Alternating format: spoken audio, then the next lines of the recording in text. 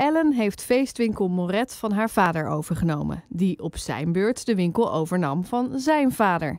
Ellens overgrootvader was de eerste eigenaar. Kortom, de feesten zitten in de genen van de Morets. Als wij uit school kwamen, uh, moest je ook ergens blijven. En dan bleef je gewoon in de winkel, want daar waren je vader en moeder. En mijn vader deed uh, goocheltrucs verkopen. Die had zijn eigen studio daarboven.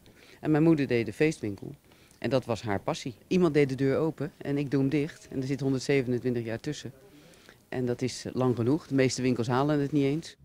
Bram Warner vindt het jammer dat de winkel sluit. Hij werkt er 12 jaar en voor hem was ook echt elke dag een feestje. Ja, in een feestwinkel werken, dus ja, daar kan je niet zo'n gezicht gaan staan.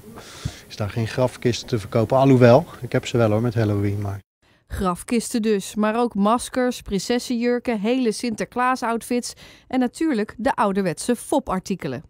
Alle fopdingen uit Rotterdam die kwamen bij mij vandaan. Ja, de ouderwetse stingbommetjes en dat soort dingetjes, dat, uh, dat uh, hebben we. En vroeger had je een scheetzak. En dit is dan de elektronische variant van de scheetzak.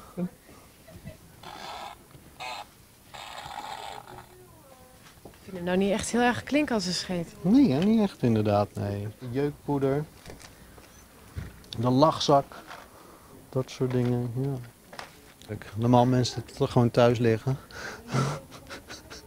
Ja, en nu alle gekheid op een stokje, tijd voor wat horror. Maar wat is nou echt het engste artikel wat je hebt? Het engste artikel is wel onze uh, elektrische pop. Die in de etalage staat. Het, uh, en natuurlijk, uh, alle maskers zijn ook eng. Twee dagen nog. Alles voor de helft van de prijs. En dan dicht. Die is ook eng.